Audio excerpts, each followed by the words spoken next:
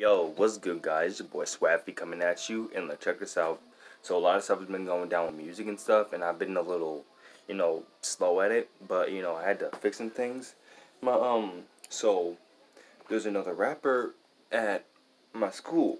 Well I'm sure there's a lot of artists, but still. Guy named um Big Bruh. I do not know what it stands for. I forgot. I'll ask him. But it's like B R U H. Bruh. But it stands for something. Uh, yeah, I'll ask him, whatever.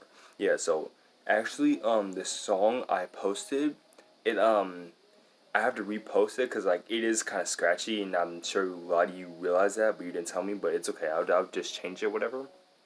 Yeah, um, I will change that. Also, it's gonna be a new song and a video on the same week it happened. So I'm just gonna change that and some new stuff with Big Bruh.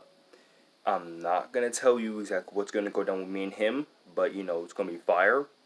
But you know, you know how that is with me. So yeah, um, that's all I gotta say. But I'm gonna let you know because it's coming. I just, just it's been slow. I got a lot of stuff to do and stuff. But yeah, yeah, it's coming. But yeah, peace out. Hope you guys had a good day though. Be sure to like, comment, share, and subscribe. I'm out. Peace.